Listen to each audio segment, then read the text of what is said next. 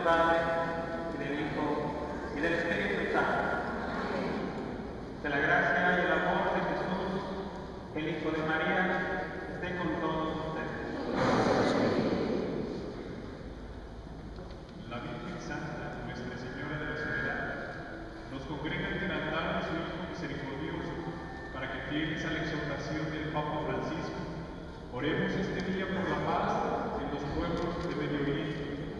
Comencemos este novenario escuchando la palabra del Señor y participando de su sacrificio redentor, disponiéndonos a recibir